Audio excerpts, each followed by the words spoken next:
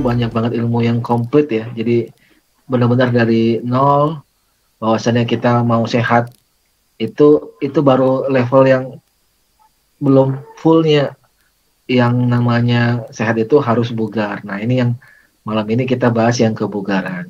Nah kalau mau bugar itu tidak hanya dengan olahraga tapi juga tergantung sama makanan yang kita konsumsi. Jadi uh, banyak hal-hal yang mesti kita perhatikan. Ingin sesuatu yang lebih, ingin sesuatu yang uh, yang kita impikan itu mesti banyak berproses terlebih dahulu. Yang terakhir uh, tadi coach mengingatkan untuk memulai eh untuk mencapai sesuatu itu yang penting dimulai dulu. Nah, dari hal-hal yang kecil terlebih dahulu, dari sesuatu yang yang mudah terlebih dahulu tapi dibuat secara konsisten dan akhirnya kita bisa tercapai. Nah, itu kurang lebih pemaparan yang menarik, banyak informasi yang baru berharga bagi kita dan mungkin akan kita bisa perdalam dalam sesi diskusi kita kali ini. Uh, yang sudah list ada beberapa orang ke saya. Mungkin langsung aja ya di unmute dari Mbak Suci yang pertama. Silakan Mbak Suci bisa mengunmute untuk bisa bertanya langsung ya, agar lebih uh, paham apa yang dimaksud. Mbak Suci.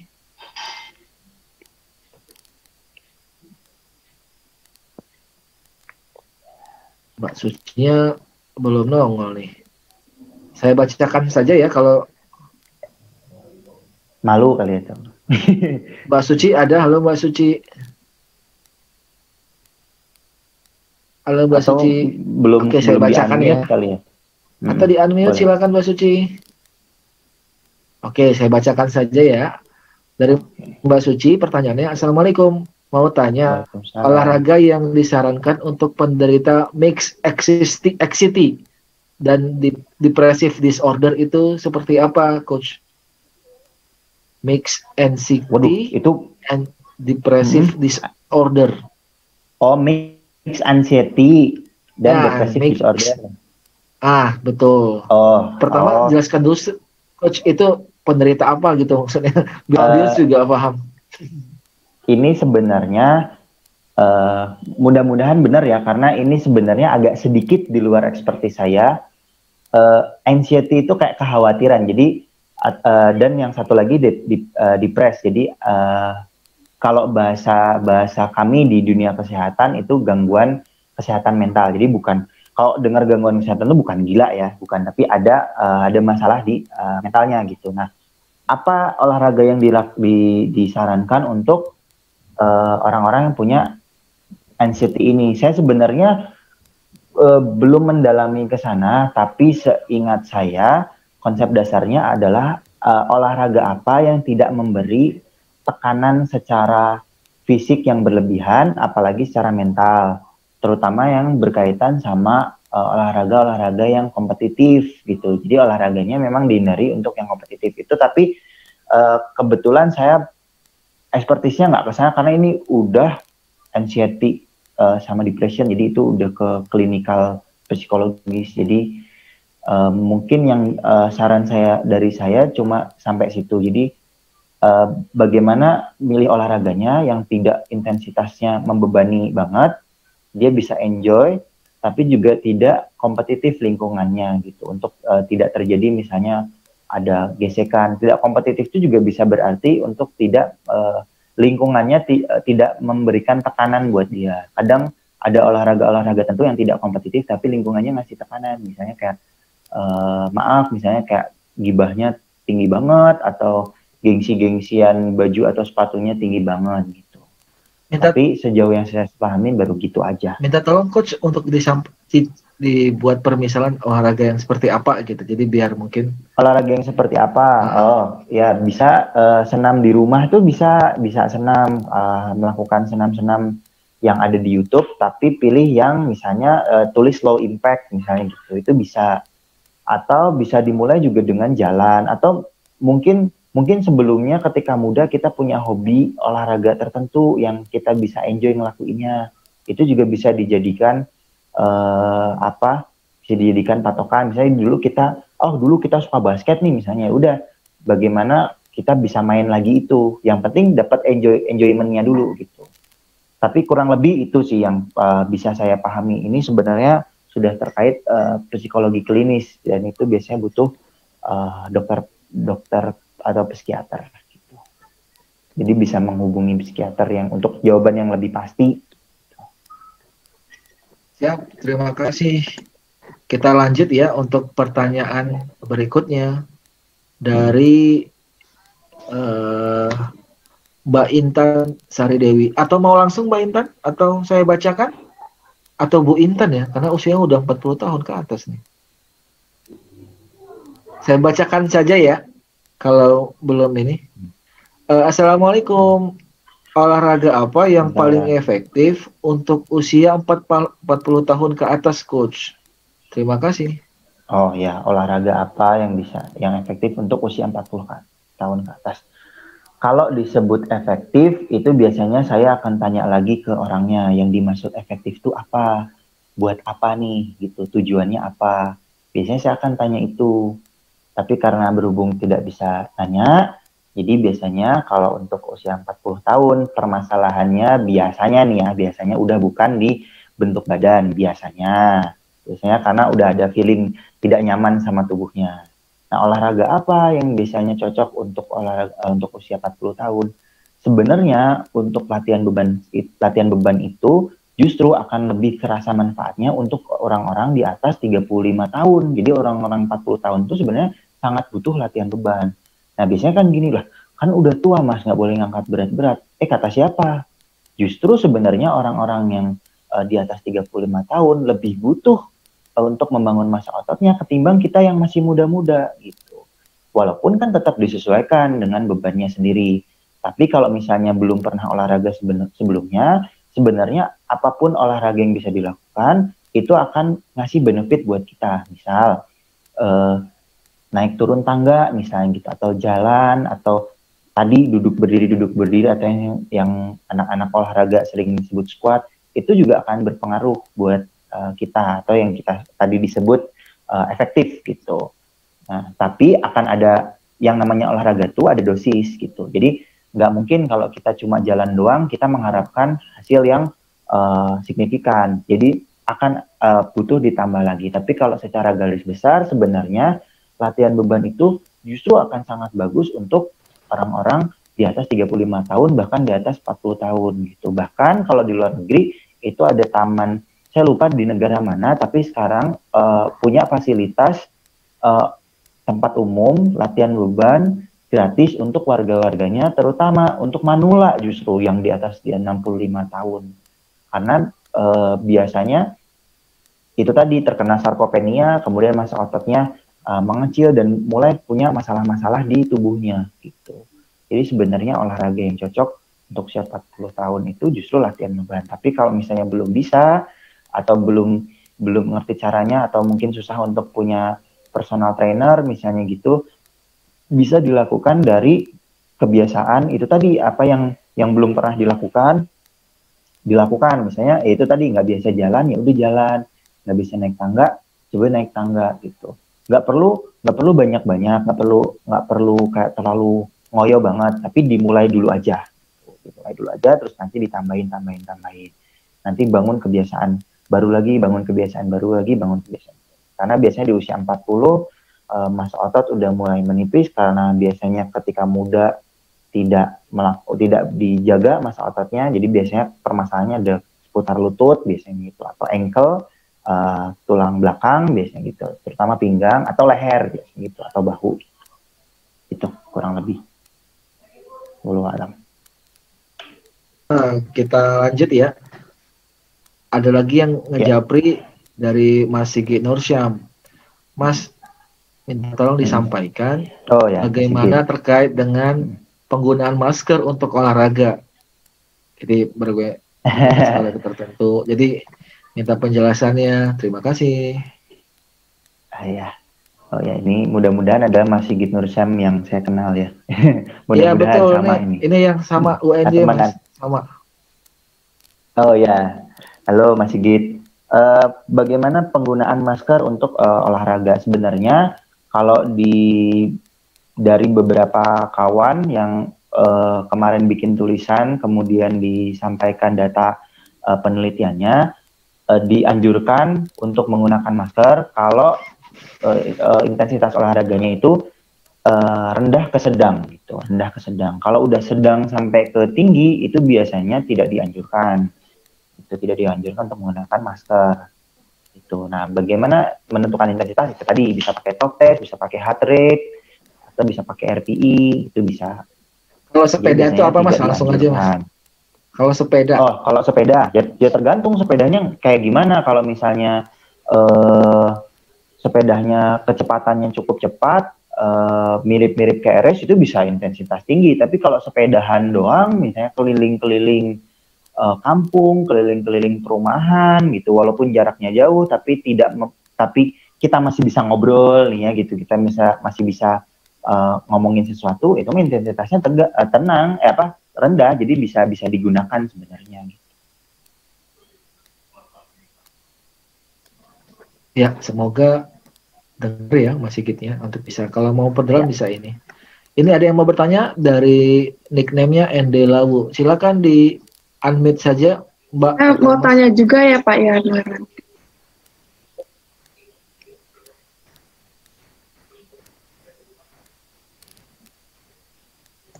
Silakan Mbak langsung di unmute. Ya. Eh. Ya. Oh iya. Yang mana dulu? Oh, oke. Okay. Oh siapa? Oh, oh iya udah Pak dulu, dulu aja, deh. silakan. Ya. Ah, saya dulu. Uh, uh, Pak Endelau dulu Pak Endelau saja. Iya. Nah. Oke, terima kasih uh, Mbak Milati dan host sama Coach Arbi. Uh, mungkin Halo, dari Pak. Halo, bisa didengar? Dengar, dengar, bisa. Bisa Pak, dengar Pak. Oke, ini mungkin dari apa ya cerita awal dulu ya mungkin nanti. Uh, hmm, ya. Memang kami punya punya komunitas. Ini kami memang buat komunitas, komunitas kebugaran, ya. kesehatan. Memang kita mulai, saya sendiri mau mulai sebelum pandemi, jadi bulan Februari ya pertengahan. Ya. Kami dengan berlima belas akhirnya jadi 10 orang komitmen memang untuk uh, meningkatkan uh, kebugaran kami dengan meningkatkan masa otot. Karena rata-rata kami umur kami sudah 35 ke atas 40 lah, 42 43. Sam bertahan alhamdulillah sampai sekarang. Uh, hari ini masih bertahan uh, dengan kegiatan apa kebugaran berbagai level. Memang kami uh, apa uh, lihat di YouTube, uh, Instagram dan lain sebagainya. Memang itu sebagai bahan panduan kami untuk meningkatkan kebugaran dengan peningkatan masa uh, otot. Yang selanjutnya kami juga sudah me, ini me, melebarkan sayap kami begitu kami buat juga grup kecil-kecilan hmm. dengan grup-grup kebugaran. Hmm. Ya, bahkan hmm. ya hampir ya hampir se-Indonesia tapi masih beberapa spot begitu ya. Bahkan ini kami meningkatkan hmm. juga di level ibu-ibu, di tingkat ibu-ibu, emak-emak. Hampir ada 6 sampai 7 grup ibu-ibu. Ya, grup WA. Hmm. Memang kami pandu hmm. lewat lewat lewat video ya.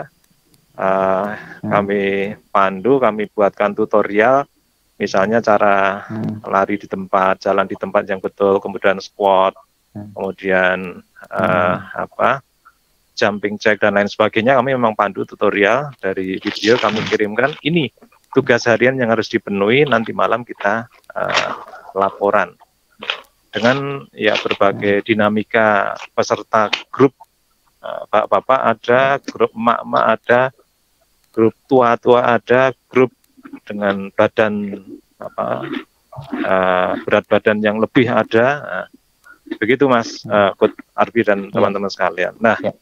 pertanyaan kami memang dari sisi ini ya program kami belum tentu hmm. belum belum sebaik yang sudah apa dilaksanakan oleh teman-teman di grup-grup kebugaran yang sudah ada dan sudah lama. Kami memang baru ngambil atau nyomot dari Instagram, dari grup-grup kebugaran yang ada Hmm. YouTube dan dan sebagainya kami nah, lihat dari memang memang kami dari level yang paling rendah dulu ya jalan di tempat Ya. kemudian lari di tempat kemudian jumping jack yang betul kemudian squat yang betul dan lain sebagainya memang dari level-level Hmm. eh, apa rendah kemudian meningkat meningkat meningkat meningkat nah saya kira pertanyaan kami adalah Ya. program yang baik agar ini bisa apa berkesinambungan dan ya Hmm. apa ber, bertahan lama tentu saja uh, tujuan atau visi kami memang uh, kita sehat bersama-sama sehat bareng-bareng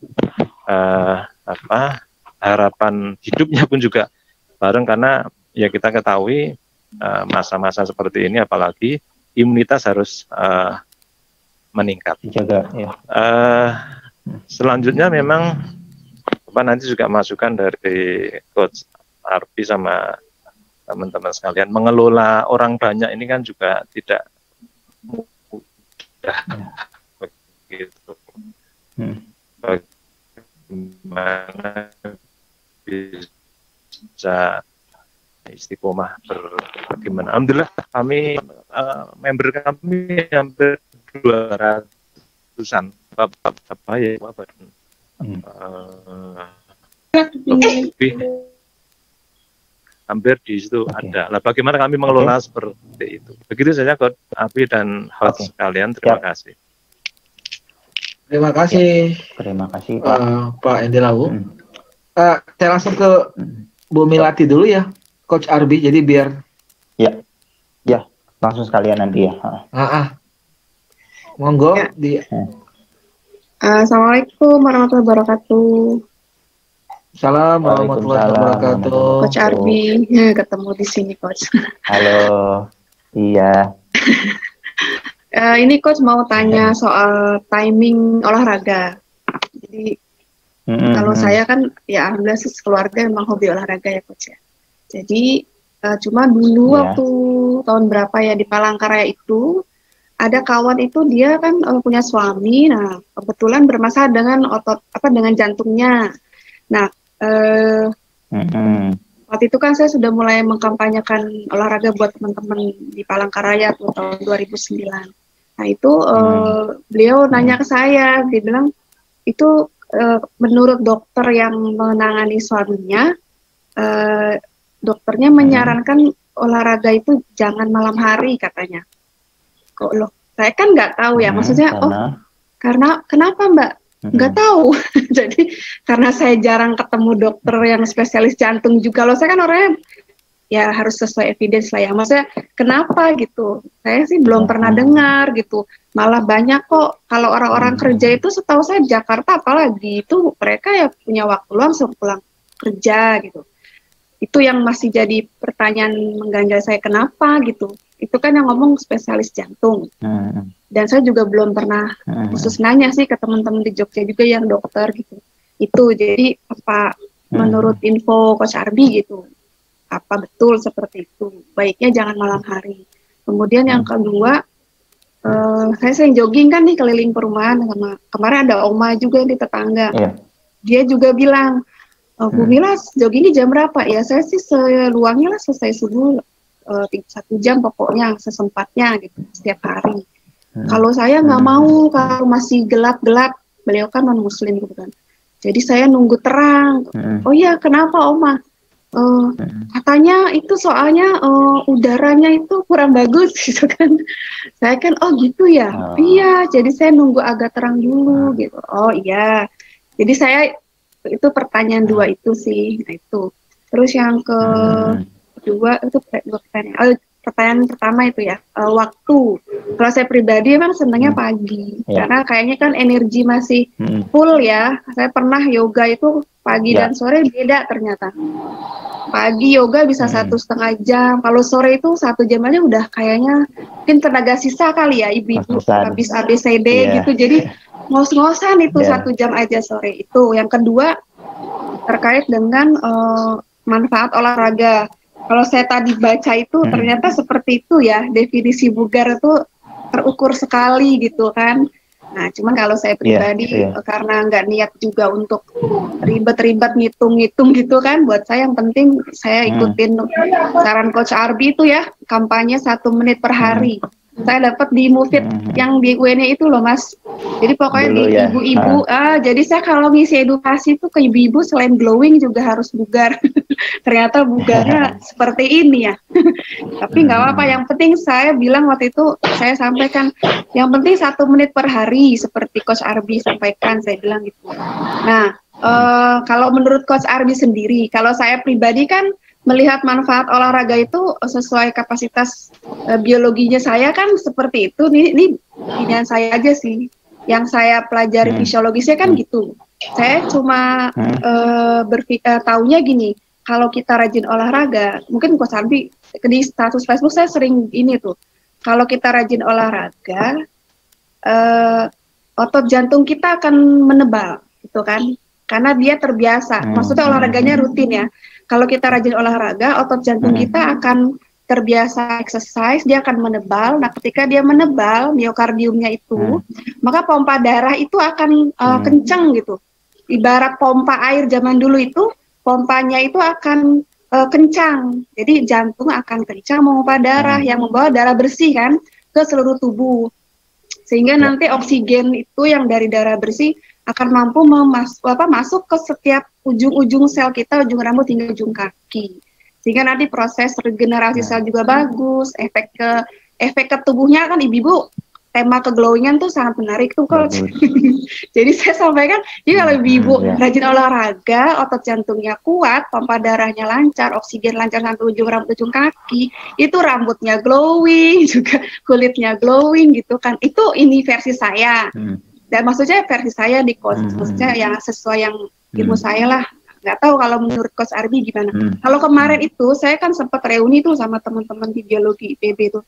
Nah teman saya yang dosen di sana Hmm. itu sekarang eh, dia sampaikan risetnya memang eh, dia itu risetnya jadi Hmm. pakai mencit, mencit tahu ya eh, tikus putih itu. Ya. Nah jadi Hmm. jadi dia risetnya dia itu jadi ternyata memang risetnya itu pada mencit gitu walaupun pada mencit ya.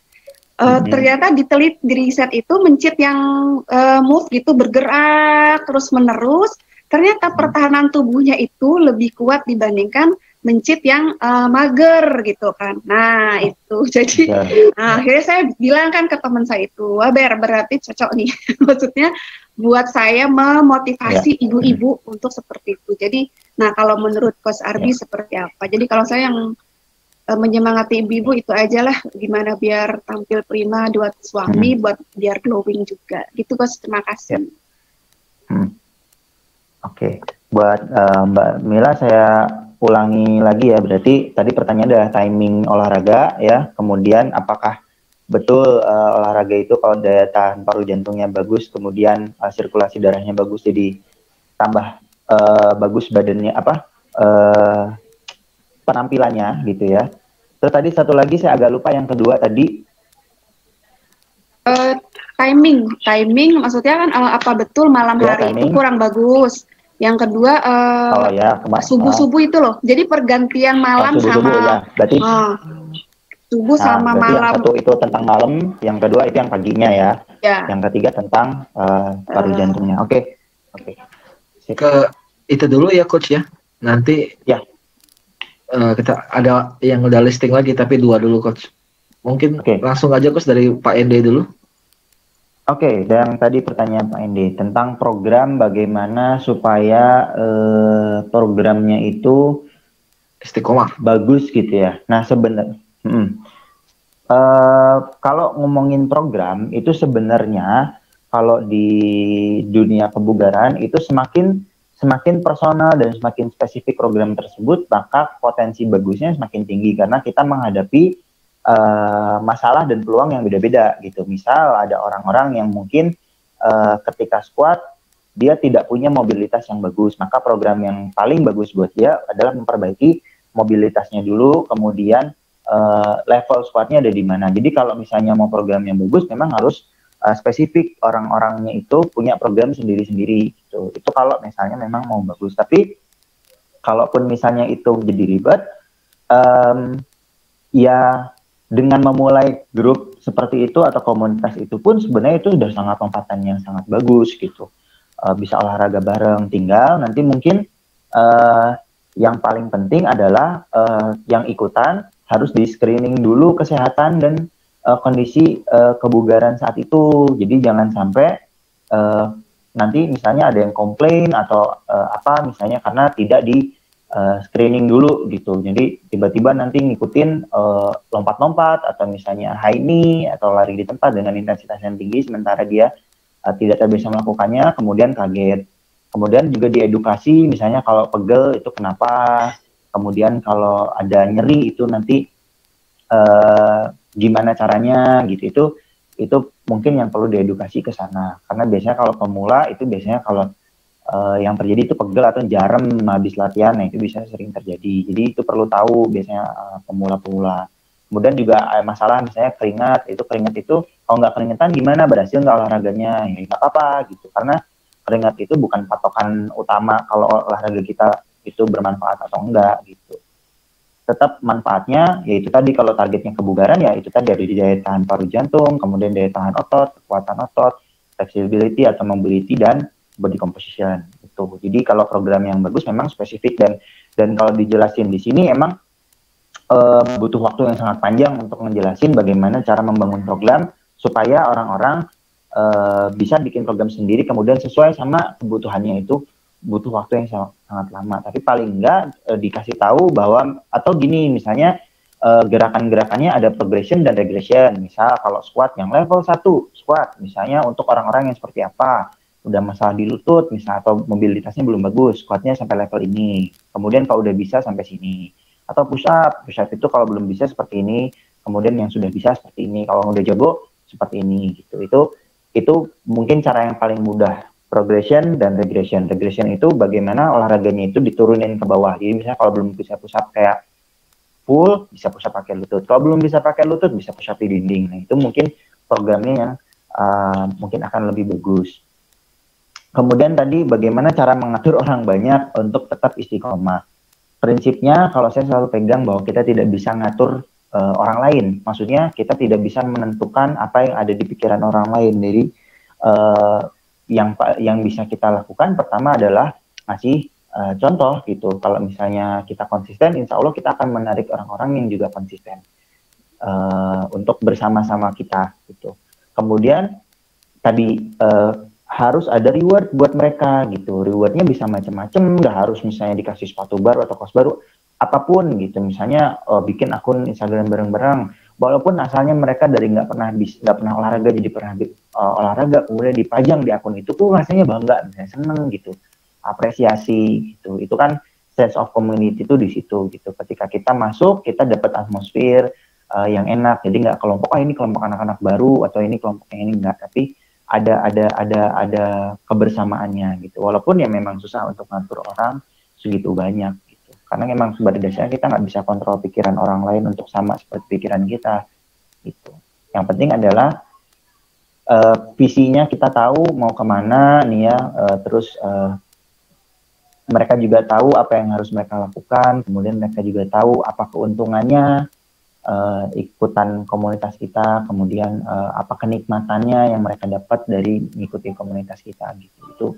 mungkin yang harus di, di, di, dikomunikasikan gitu, supaya mereka semakin betah dan semakin semangat jadinya sehat bareng-bareng gitu. Itu mungkin uh, sedikit masukan atau tambahan dari saya. Tapi itu udah inisiasi yang sangat bagus banget terutama untuk usia yang sudah di atas ya udah di atas 35 tahun karena jujur penting banget uh, serius uh, masa otot untuk usia-usia di atas 35 tahun. Itu kurang lebih uh, begitu Pak Ende Lawu.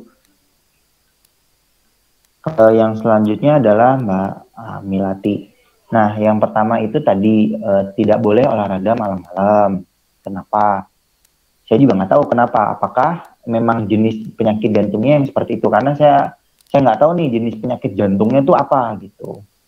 Jadi nggak tahu Kenapa? Tapi sepengalaman saya, uh, sepengetahuan saya dari evidence maupun dari apa yang sudah saya pelajarin, sebenarnya olahraga malam uh, tingkat bahayanya juga nggak signifikan signifikan banget karena uh, banyak juga sebenarnya kejadian orang-orang yang meninggal ketika olahraga uh, justru di siang hari. Uh, saya nggak pernah lupa ketika waktu itu di UNY ada turnamen antar dosen tenis, kemudian meninggal tuh siang-siang itu jam jam 11 itu sebelum zuhur saya ingat banget itu sebelum zuhur. Jadi sebenarnya um, uh, saya nggak tahu nih apakah ada evidence terbaru untuk uh, jantung atau memang uh, karena banyak juga kejadian-kejadian uh, yang misalnya olahraga malam terus meninggal. Tapi tidak bisa juga digeneralisir kalau olahraga malam uh, berbahaya karena pertama uh, misal kalau ini anak-anak bola atau misalnya Liga Champion Eropa gitu itu mainnya kebanyakan malam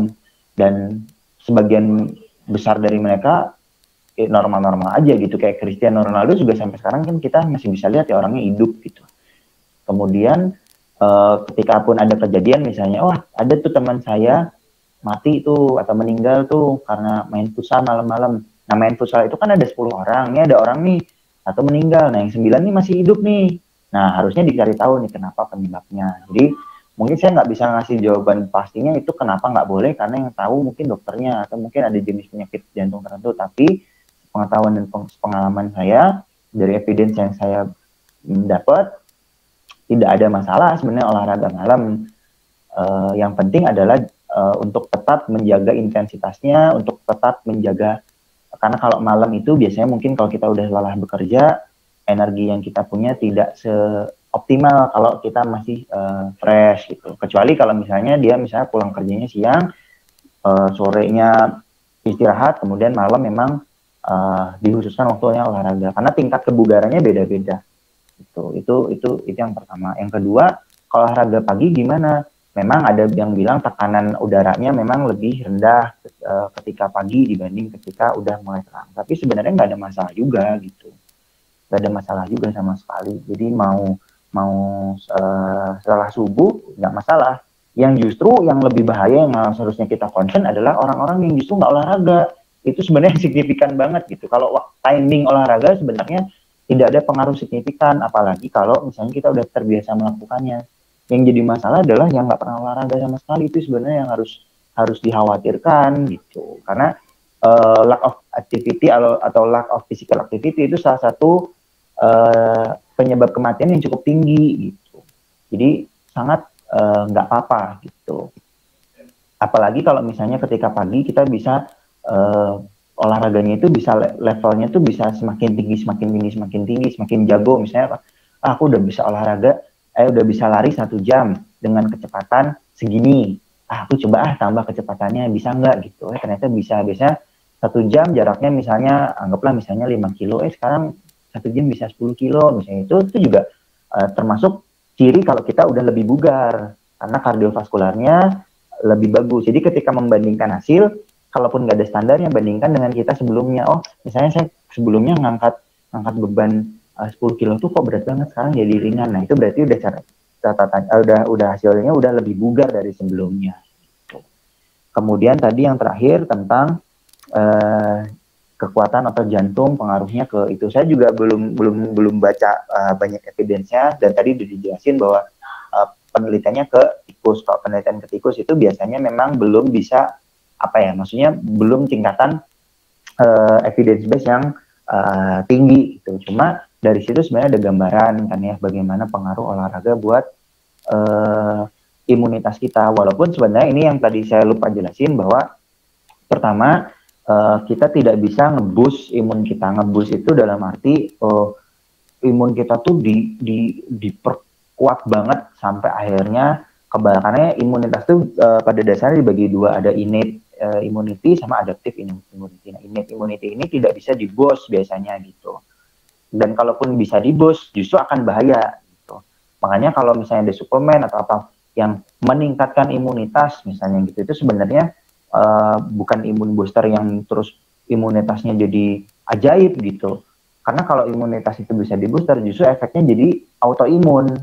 Itu yang perlu di uh, dipahami. Tapi walaupun begitu, memang uh, beberapa studi uh, menunjukkan bahwa olahraga punya uh, punya peran terhadap penguatan imunitas dan imunitasnya itu uh, misalnya imunitasnya di sini, jadi dia akan akan ngebantu untuk tetap dekat di uh, batas uh, optimalnya gimana gitu. Itu biasanya uh, olahraga. Tapi karena imunitas itu sistem, jadi bukan cuma dari olahraga doang, tapi pola makannya juga harus bagus karena imunitas itu sistem. Jadi bukan kayak di tubuh kita ada suatu pakaian yang gitu aja gitu ya menutupin tubuh terus kalau ada virus mentah-mentah enggak. Jadi imunitas itu sistem dan ada banyak jenis imunitas gitu.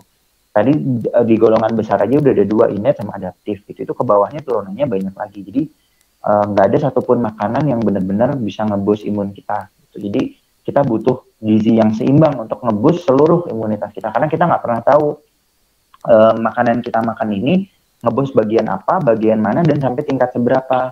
Gitu. Jadi paling benar adalah untuk tetap berolahraga dan uh, konsumsi makanan-makanan yang uh, sehat gitu. Gak perlu yang ribet juga, gak perlu yang mahal.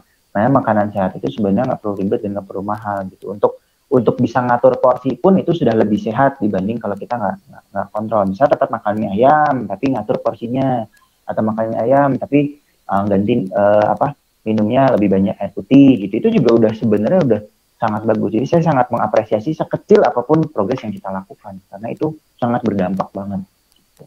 Itu mungkin kurang lebihnya walau alam soal ya. Terima kasih coach. Jadi memang sama-sama mbak. Kita lanjut ya coach. Ya. ini dari mbak Betaria Rosmalina. Hmm. pertanyaannya ya jadi bisa nggak sih kalau pola makan itu diubah selayaknya puasa? Karena saya pernah hmm. baca kalau puasa itu cara ampuh hmm. buat detoks lemak jahat. Juga pola makan seperti apa sih yang baik untuk anak yang dalam masa pertumbuhan? Terima kasih. Oh, ya. Gimana? Langsung aja dulu, Prof. Eh, Coach. Ya. Oke. Okay. Ah, ya. Uh, pertama ini masalah uh, penggunaan kata detox. Sebenarnya ini detox ini sebenarnya kata-kata yang salah uh, disalahgunakan paling banyak di dunia ya bukan paling banyak juga ya tapi paling sering lah digunakan di dunia kesehatan. Karena pada dasarnya uh, kita tuh nggak bisa ngedetox tubuh kita sendiri. Karena detox itu nanti urusannya sama ginjal sama paru-paru sama liver kita. Itu itu organ-organ detox kita tanpa itu kita nggak bisa detox. Gimana uh, nggak bisa gimana gimana karena emang detox itu udah otomatis dan setiap hari. Apalagi kalau misalnya disebut mendetoks lemak karena detox itu tidak ada hubungannya dengan lemak tubuh sebenarnya gitu. Tidak tidak tidak, tidak detox itu dari uh, istilahnya racun dari tubuh kita gitu. Uh, bukan dari lemak tubuh kita. Walaupun yaitu tadi ketika banyak uh, lemak uh, ada ada penurunan kebugaran ada penurunan kesehatan tapi sebenarnya kita nggak bisa ngedetox uh, tubuh kita. Yang kita bisa lakukan adalah melawat, merawat organ detox kita untuk dia melakukan kerjanya dengan bagus gitu. Itu sebenarnya. Nah, bagaimana dengan puasa? Ya bagus, apalagi kalau muslim gitu kan uh, sekarang rame ya intermittent fasting. Nah makanya saya kenapa nggak pernah intermittent fasting? Bukannya nggak suka, tapi karena di Islam itu banyak puasa. Saya tanggung banget kalau misalnya puasa, tapi nggak jadi nggak jadi pahala mending sekalian gitu. Mending uh, sekalian aja puasa. Nah, jadi diniatkan awalnya untuk ibadah, baru uh, baru dapat benefit lainnya. Gitu. Jadi jangan cuma puasa karena pengen badannya langsing atau pengen badannya badannya bagus, tapi niatkan untuk ibadah, kemudian uh, nanti dapat manfaat lainnya. Gitu. Itu itu memang uh, apa ya risetnya cukup banyak gitu. Tapi sebenarnya juga apa ya tidak yang ajaib-ajaib banget ya maksudnya kayak wah ini terbaik dunia, di dunia karena uh, ya harus lihat juga kondisi orangnya gitu. Harus lihat juga kondisi orangnya apakah mampu melakukan puasa atau tidak itu itu itu kurang kurang lebihnya itu seperti itu. Oh sama satu lagi tadi pola makan untuk uh, pertumbuhan anak ya. Uh, ini sebenarnya paling tepat untuk uh, ahli gizi tapi kurang lebih kalau dari saya uh, jelas yang paling harus diprioritaskan itu protein karena orang Indonesia tuh sangat uh, sedikit konsumsi proteinnya. Jadi protein-protein itu harus dikonsumsi. Kemudian kalsium untuk pertumbuhan tulang dan giginya. Nggak tahu usianya berapa nih ya anaknya, tapi uh, kalau saya selalu nomor satu itu bukan cuma buat otot, tapi memang protein itu untuk semua sel-sel di tubuh kita. Itu yang paling penting karena Indonesia itu konsumsi proteinnya rendah. Gitu. Alam bisa. Kita lanjut lagi ada dua lagi yang waiting list nih. Yang pertama eh, yang Ya. berikutnya Mbak Nurjana. Coach mau tanya Ya. olahraga apa yang cocok untuk yang punya back pain? Hmm. Itu aja. Back pain, oke. Terima kasih. Oke.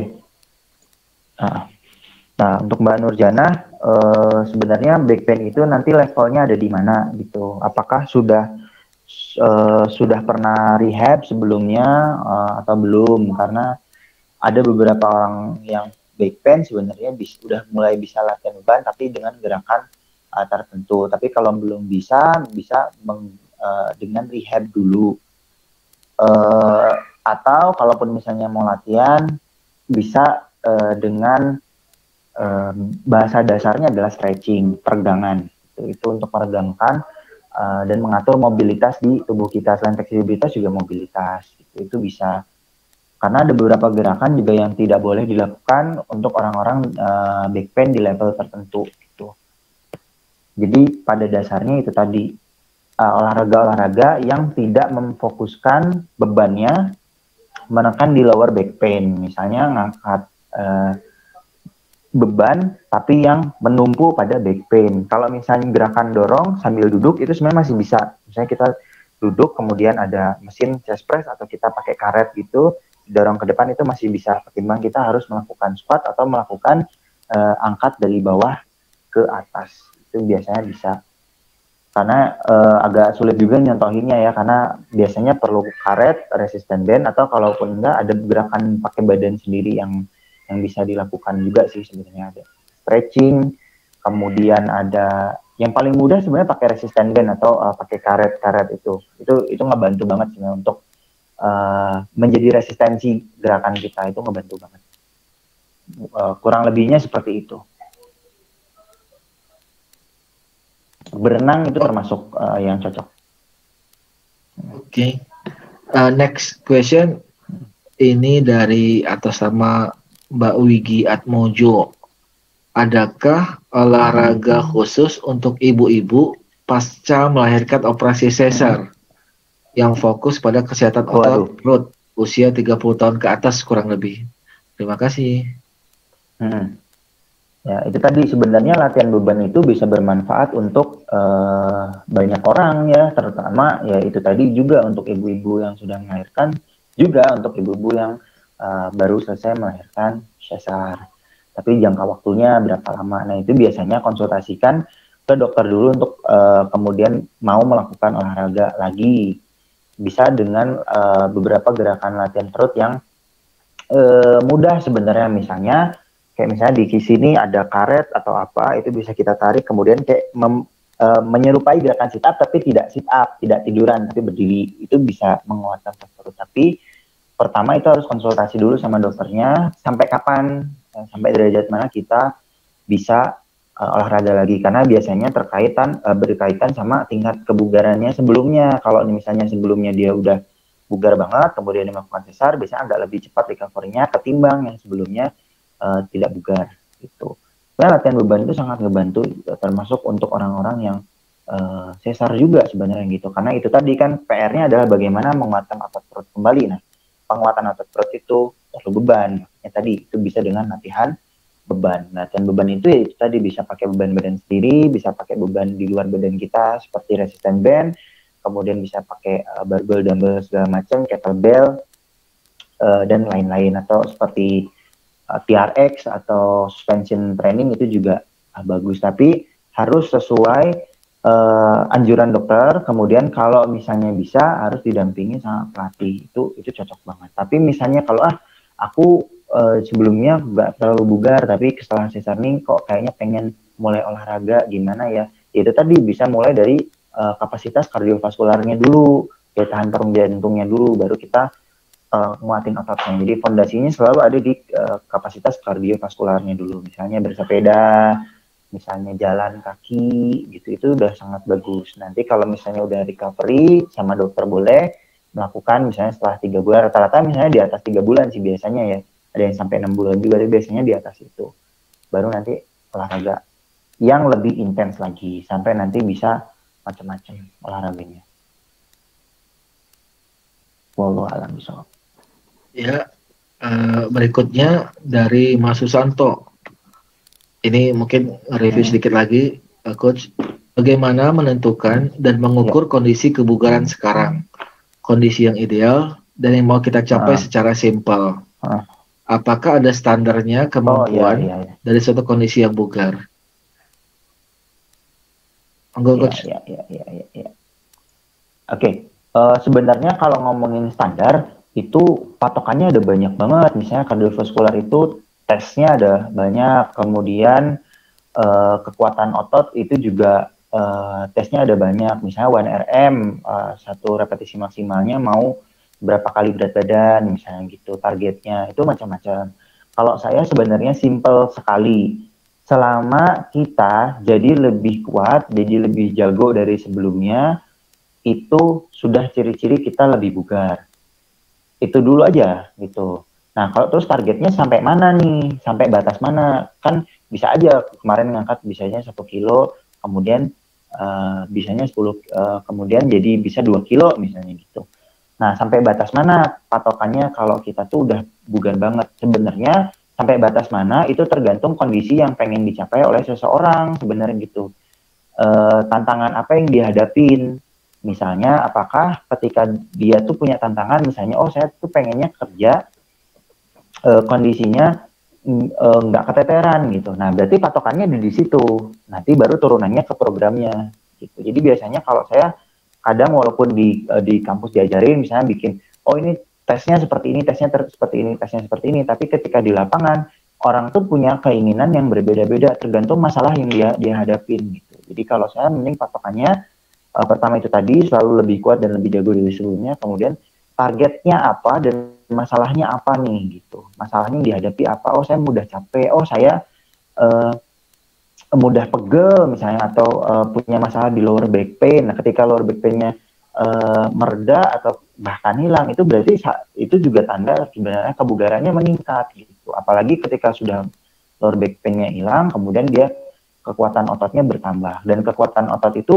Salah satunya bisa dilihat dengan bertambahnya massa otot dan bertambahnya massa otot bisa dilihat dari perubahan body composition. Jadi komponen kebugaran tadi itu saling berkaitan sebenarnya gitu. Walaupun nggak selamanya yang besar itu atau ototnya yang besar punya kardiovaskular yang bagus, kemudian daya tahan ototnya yang bagus dan kekuatannya otot bagus juga, tapi kurang lebih ada uh, benang merahnya saling berkaitan. Jadi kalau saya untuk orang-orang yang bukan atlet uh, lebih ke arah mengukur kebugarannya adalah tantangan apa yang dihadapin gitu uh, butuh nggak sih misalnya uh, uh, squat bisa uh, 100 kilo untuk orang uh, awam bisa jadi iya bisa jadi enggak gitu yang penting adalah tahu tantangannya atau masalahnya itu di mana itu itu udah salah satu ciri uh, kebugaran gitu itu kurang lebih uh, yang bisa saya jawab walau alam bisa uh, kita lanjut ke pertanyaan berikutnya. Tadi kalau hmm. untuk yang pasca melahirkan, ini ada yang bertanya hmm. bagaimana kalau Sebelum untuk melahirkan.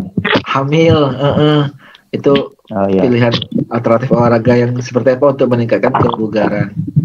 Oh iya, sebenarnya kalau untuk hamil itu ya eh, apa pun kebiasaan sehatnya ya harus diadaptasi sebenarnya apa pun kebiasaan sehatnya itu juga sebenarnya agak sedikit di luar ekspertise saya kalau untuk bagaimana memastikan untuk fertil gitu ya. Tapi kalau olahraganya sendiri sebenarnya latihan beban sekali lagi itu punya punya punya manfaat ke fertilitas juga gitu sebenarnya karena berkaitan dengan keseimbangan hormon terutama misalnya untuk pria untuk testosteronnya semakin produksinya semakin bagus itu akan ngebantu juga kemudian untuk perempuan juga untuk memperkuat otot-otot di sekitar rahim untuk kemampuan dia nanti untuk uh, melahirkan juga itu sangat ngebantu sekali. Jadi tapi kalau saya yang paling penting adalah uh, kalau misalnya ngerasa uh, uh, belum punya kebiasaan sehat, belum punya kebiasaan uh, olahraga, dimulai dulu aja dari apa yang bisa dimulai. Kemudian baru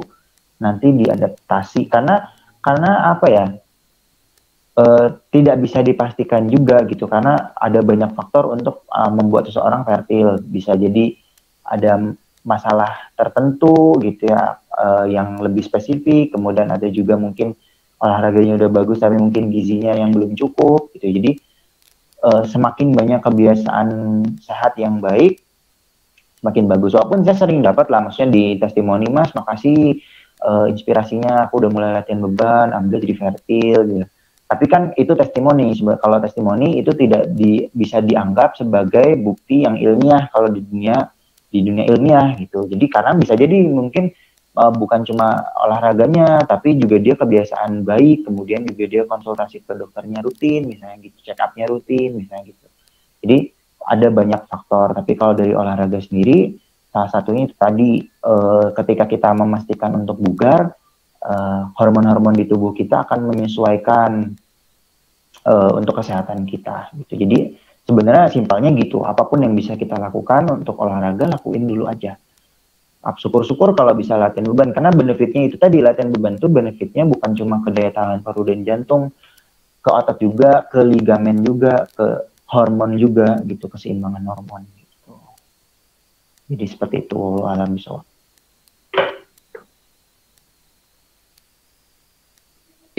Terima kasih banyak uh, Coach Arbi atas pemaparannya. Ya. Uh, sambil menunggu hmm. pertanyaan berikutnya yang sudah habis yang di daftar saya. Jadi untuk yang dari uh, peserta yang sudah daftar, boleh kita buat komunitas bersama. Nanti bisa kontak ke Mbak Septi ya. Jadi kita bisa mulai dari hal-hal yang tadi, hal-hal yang kecil terlebih dahulu. Uh, jangan terlalu ngoyo untuk bisa langsung seperti apa yang kita inginkan. Karena yang perlu dijaga adalah konsistensinya kita. Uh, mungkin sesekali nanti mungkin kita akan mengundang lagi untuk jadi mentor Coach Arbi untuk melihat sejauh mana pencapaian kita atau hal-hal yang lainnya. Uh, tetap kontak, betul, tetap kontak kita bagi di luar Jogja juga begitu bisa kontak-kontak bisa bergabung karena kan sekarang meskipun di dunia pandemik ini seperti tidak ada lagi hijab atau batasan ya sehingga kita yeah. bisa di mana pun kita bisa komunikasi langsung bisa pakai kayak hmm. gini kayak video conference atau hal-hal yang lainnya gitu. Hmm. Bisa dari rumah, tidak harus ke tempat gym atau hal tempat yang lainnya. Bahkan bersepeda juga sebenarnya bisa dari rumah.